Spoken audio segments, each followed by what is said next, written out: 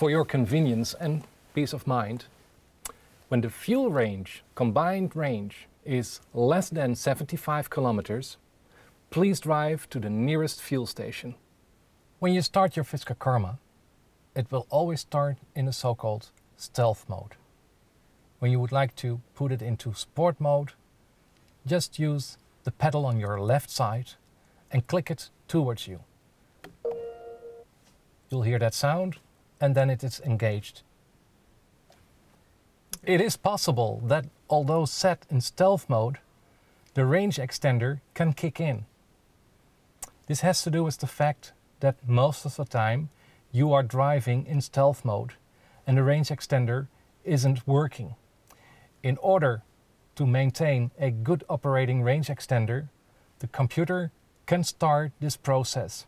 In that case, it will take five to six minutes before it ends automatically. So don't worry, you can keep on the stealth mode and after six minutes the range extender will be turned off and you'll be driving in stealth mode fully.